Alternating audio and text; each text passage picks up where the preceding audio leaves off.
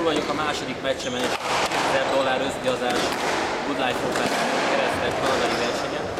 A mai ellenfelem az ausztrál származású Scott Arnold volt, aki 60 körül van a világranglistán, 60-70 körül. Úgyhogy papírforma szerint is hoznom kellett a meccset, hiszen sikerült is. Az első két hetet aránylag simán nyertünk 11-5-11-5-re. A harmadikban is 10-5-re vezettem, ott volt meccslabdám, de 5 darab meccslabdát is elrontottam, valamint beütötte őket, de a rövidítésben viszont sikerült megnyerjem a meccset, és akkor 3 óra.